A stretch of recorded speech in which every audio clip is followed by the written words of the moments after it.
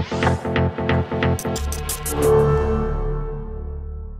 Také se rozšiřuje definice sexuálního nátlaku. Přibylo i zneužití tísně oběti, které uvádí do nějaké té bezbranosti. Přinesly potřebu upravit ty parametry a zpřísnit je, vyjasnit eh, a rozšířit právě případy, které se teď dějí. Jich více, jsou třeba drsnější, nebo eh, ztráceli lidé zábrany nějak častěji, anebo prostě to jenom souvisí s tím, o čem jste hovořila na začátku? Já si nemyslím, že by se těch případů dělo více. Myslím si, že díky dobré práci novinářů a novinářek a díky tomu, že méně lidí se uh, bojí promluvit o tom, co se stalo, se o těch případech teď, teď dozvídáme. A teď uh, za poslední dobu jsme bohužel uh, měli možnost číst a slyšet o více těch skandálních rozsudků. Uh, rozsudcích, kde prostě um, ti pachatelé nebyli odsouzeni tak, jak bychom očekávali.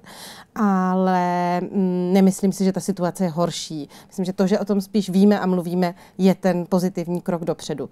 Ta bezbranost byla potřeba detailně dodefinovat, takže je tam i třeba ta, ta tíseň nebo hmm. právě ten, ten stres eh, vysoký, eh, protože ty naše soudy mm, tu bezbranost, která v té, eh, v té legislativě už byla vykládaly absolutně. To znamená, že se na ní dívali jenom jako na situaci, kdy je třeba oběť svázaná a nebo absolutně bezbraná vůbec fyzicky. nemůže fyzicky se bránit, ale není to, um, není to třeba subjektivní bezbranost, kdy vy objektivně se bránit můžete, protože vás nikdo nedrží za ruce, ale subjektivně jste přesně v pocitu tísně a víte, že uh, když se budete bránit, tak uh, přijdete o bydlení, o práci a podobně. A může to souviset tedy i s tím stavem, ve kterém se nacházíme, ať už je to třeba spánek, vliv nějakých látek, Přesně cokoliv tak. takového. Když vidíme ten soubor těch úprav, které tedy budou mít evidentně eh, vliv na náhled toho, co je a co není znásilnění, toho, co je sexuální nátlak, eh, co vy říkáte na takové ty komentáře, které se objevují asi právě i z toho důvodu, že se o tom tématu častěji hovoří? Eh, já už se jenom na kluka, na holku podívám a už jsem skoro ve vězení, to je prostě strašný. Zuříte, když tohle slyšíte, nebo se tomu smějete? Uh... Jak kdy? někdy mi to přijde úsměvný, někdy mi to přijde hloupý. Ale co mi přijde hlavní je, že my jsme si dělali průzkum veřejného mínění, kde jsme zjišťovali, co si lidi myslí uh-huh. o souhlasu u sexu, eh, což by mělo být základem eh, každé sexuální interakce. A zjistili jsme, že většina české veřejnosti považuje souhlas za důležitou součást eh, sexuální interakce, sexuálního styku. A to, že by se měly podepisovat nějaký formuláře, nebo to, že je to nesmysl, si myslí jenom maličký zlomek té české společnosti. Takže jsou to spíš hlasití, uh, křiklouni a trolové, kteří prostě se chtějí rozčilovat, ale není to to, co by si myslela uh, velká část té veřejnosti, nebo možná si z toho občas dělají legraci, ale ve skutečnosti chápou, o co jde. Jeden jediný hlas těch přítomných poslanců, kteří hlasovali o redefinici znásilnění, byl nebo nehlasoval pro tu novelu. To je vlastně zásrak na české politické poměry. Vedla k tomu náročná cesta, aby politici se odprostili od těch politických bojů. Se pak ještě ten jeden hlas přihlásil, ještě že, se, že, že se jenom zapomněl. Tak, ale já jsem to chtěla zmínit, ale právě, že to vypadalo, že se všichni shodli úplně najednou. Ale, a... uh, byla zatím dlouhá usilovná práce. Uh, my jsme zhruba před třemi a půl lety se začali společně s Amnesty International uh, bavit o tom, že bychom chtěli, aby se v Česku ta definice znásilnění změnila. Začali jsme se k tomu spojovat s různými experty a odborníky, oslovat první politiky, političky a, a vysvětlovat jim, co je to za problém, jak je možný ho řešit. A uh, dlouho jsme vůbec hledali k tomu spojence, dlouho jsme hledali tu potřebnou politickou sílu a pak to, že to je takhle koncenzuální nakonec, ta schoda na tom je výsledek skutečně jako usilovný práce nás a těch poslanců a poslankyň, kteří zatím stáli a brousili ty hrany, přesvědčovali ostatní, uh, vysvětlovali, proč je to potřeba a hledali kompromis. Reálně my jsme i společně s těma dalšíma poslancema a poslankyněma prosazovali variantu, která by uh, byla ta progresivnější a mluvila o tom, že sex bez souhlasu je znásilnění, ale právě, aby to prošlo, tak jsme uh, společně se pak shodli na tom, že je možný ustoupit na tu variantu, kterou máme teď, pokud tam bude dobře vydefinovaná ta bezbranost a pokryje všechny ty případy, které jsme potřebovali pokrýt. A to hledání té schody broušení té nejlepší možné varianty v kompromisu podle mě dovedlo nás do situace, kdy je proto prostě uh, úplně téměř maximální podpora. Teď nevím, jestli se vám to děje, ale když se vy snažíte přesvědčit lidi, že je prostě nutné důrazněji lépe chránit případné oběti sexuálního nebo sexualizovaného násilí, co zaznívá od těch, které prostě nepřesvědčíte? Tak uh, ty první argumenty, a to mám pocit, že i ve více oblastech v Česku, je, že si nepřiznáváme ten problém. Znásilnění se tady moc neděje, statistiky jsou vymyšlený, uh, když se to někomu stane, tak ať se brání, proč tím budeme ztrácet čas, mě to nezajímá, ať to řeší někdo jiný. Potom jsme pokračovali přesto, že dobře, znásilnění se možná děje, ale naše legislativa je dostatečná, protože přece uh, se u nás soudí dostatečně. Zase máme data na to, že polovina pachatelů odchází s podmínkou, uh, víme, že většina případů vůbec není hlášená na tu policii, chybí nám spoustu dat, abychom dokázali se k tomu pří, uh, celému problému jako komplexně postavit. A tak to jsme taky museli vysvětlovat a snažit se přesvědčit uh, o tom, že je problém i tady. Pak jsme se dozvídali, že se to dá řešit judikaturou, protože judikatura je funkční. Zjistili jsme, že ta judikatura, kterou se um, tady ti lidé zaklínali, funkční není a jde na ty případy z jiného hlediska a zároveň, že třeba policie rozhodně nebude znát nejnovější judikaturu. Takhle tam byly jako různý důvody, proč by to nešlo. Falešná oznámení, povede to k tomu, že tady budou falešná oznámení, ale i třeba díky tomu, že jsme sem přivezli nějaký experty z praxe a hlavně díky těm bohužel skandálním případům, o kterých jsme mohli číst a tlaku veřejnosti, i nakonec tihle ti lidé, kteří si tu změnu dělat nechtěli, eh, to téma pro ně důležitý není a nezajímá je, tak eh, museli ustoupit.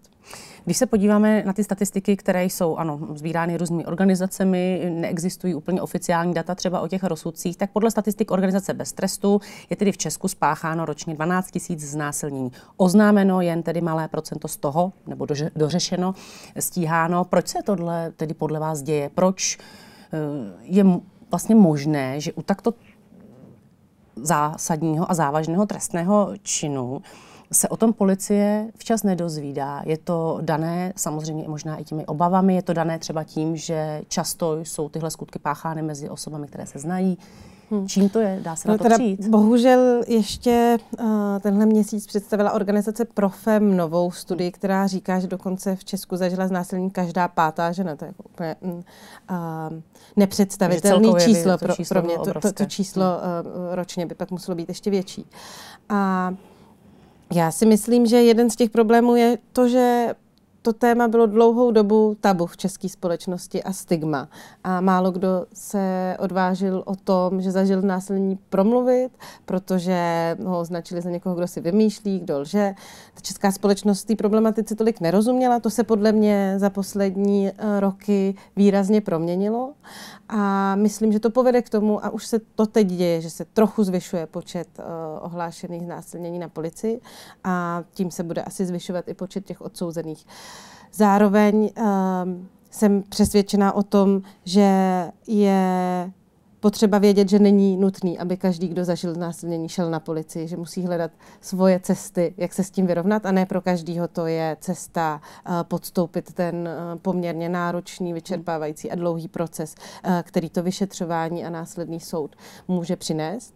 A taky je potřeba si uvědomit, že to, že někdo nejde na tu policii hned, aby to hned nahlásili, je normální, že občas potřebují lidé trochu víc času, aby to zpracovali, aby si zjistili, co je pro ně nejlepší, aby se s tím vyrovnali, zajistili, že budou oni nějaký hlavní um, psychický pohodě a pak můžou jít to řešit uh, třeba s policií. Těmi rozsudky se zabývala i datová redakce aktuálně CZ. Zjistila, že podle dostupných dát je tedy každé druhé znásilnění odsouzeno podmínkou. Každý případ je absolutně jiný. Těžko se z toho dá asi dělat úplně obecný závěr, ale přesto existuje tady podle vás důvodné podezření, že jsou soudy k pachatelům znásilnění nedostatečně přísní, nebo že se ty případy vyšetřují nedostatečně důkladně? No, já jsem o tom bohužel přesvědčená. Když víme, že polovina případů končí tím eh, podmínečným rozsudkem. A víme právě z těch případů, které se dostávají eh, na, na světlo světa nejčastěji skrz média, že to jsou případy, kdy otčím zneužíval svoji dceru dlouhou dobu, kdy dědeček zneužíval svého vnuka že to jsou skutečně závažné problémy a ty odůvodnění bývají ve stylu uh, byl ještě malý, nebude si to pamatovat.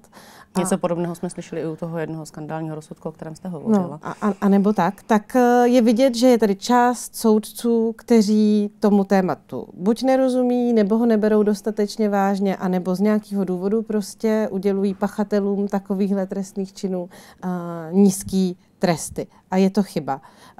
Mně to zároveň přijde smutný, protože koncent uh, dělal uh, analýzu, kdy jsme dělali rozhovory se soudci a soudkyněma, budeme ji teprve uh, v nejbližších dnech prezentovat.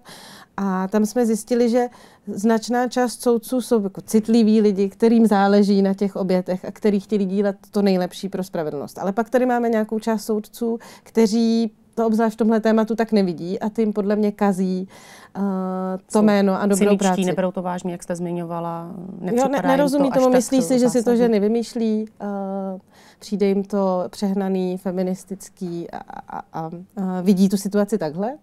A ty je potřeba buď poslat na vzdělávání, a nebo by neměli, nebo, nebo by neměli hovořili jste třeba i o tomto případy. tématu s Ministerstvem spravedlnosti? Uh, hovořili jsme o tomhle tématu s Ministerstvem spravedlnosti vícekrát a vypadá to tak, že Ministerstvo spravedlnosti konečně pochopilo, že to vzdělávání soudců opravdu je nezbytně potřeba a hledají způsoby, jak k tomu soudce přimět. No, bohužel soudci v Česku uh, a jejich vedení mu vzdorují a nechtějí se vzdělávat, protože mají pocit, že by to intervenovalo zahrnovalo do jejich nezávislosti a mně to přijde od nich velmi nezodpovědný. Víme, že třeba v Británii, eh, kde měli podobný problém, taky tam případy domácího sexuálního násilí končily občas podobně skandálníma rozsudkama. Ti soudci si řekli, takhle to dál nejde, my ztrácíme důvěru veřejnosti, musíme s tím něco udělat. A sami se rozhodli, že kdo chce soudit tyhle případy, tak se musí vzdělat, aby uh, nedocházelo k tomu případ, k těm jako, uh, skandálním rozsudkům, kdy veřejnost začíná mít pochybnosti o tom, jak fungují soudy. A mě mrzí, že, že soudci v Česku to taky nevidí takhle, protože my potřebujeme, aby jim uh, lidé věřili, potřebujeme aby ty oběti měly důvěru v ten systém. Jeden z důvodů, proč taky nehlásí tyhle případy na policii, že um, si často čtou o těch rozsudcích, který jim nepřijdou dostatečný a proč byste to šla hlásit, když víte, že podstoupíte dlouhý martýrium eh, výslechů a, a, soudu a nakonec ten člověk třeba odejde jenom s podmínečným trestem.